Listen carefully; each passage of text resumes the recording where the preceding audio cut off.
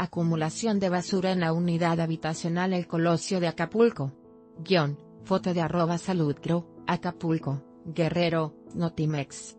Guión La Secretaría de Salud Guerrero levantó la emergencia sanitaria por los desechos sólidos que se encontraban en varios puntos de colonias de Acapulco, los que estaban ocasionando un riesgo sanitario para la población.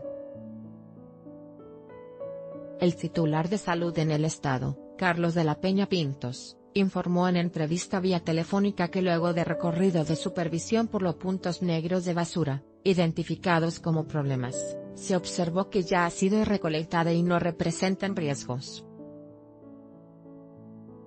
El pasado 30 de agosto del presente año, la Secretaría de Salud Estatal emitió una emergencia sanitaria por la falta de recolección en el 45% de las colonias populares del puerto.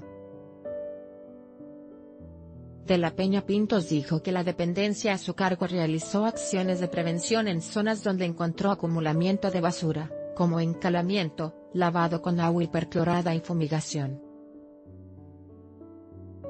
Después de un recorrido se comprobó que el ayuntamiento está dando continuidad a estas acciones preventivas a través de la recolección y manejo de residuos sólidos, traslados y destino final por lo que se determina levantar la emergencia sanitaria, precisó.